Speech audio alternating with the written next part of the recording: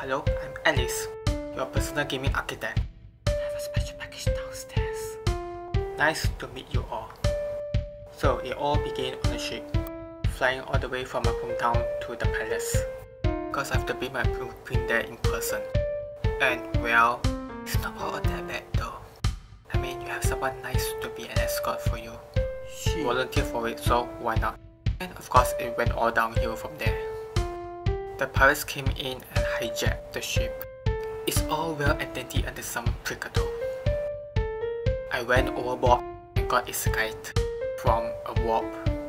So here I am trying to make new friends in this new world. So about myself, huh?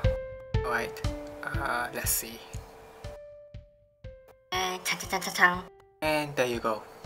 Thank you for watching. Bye bye.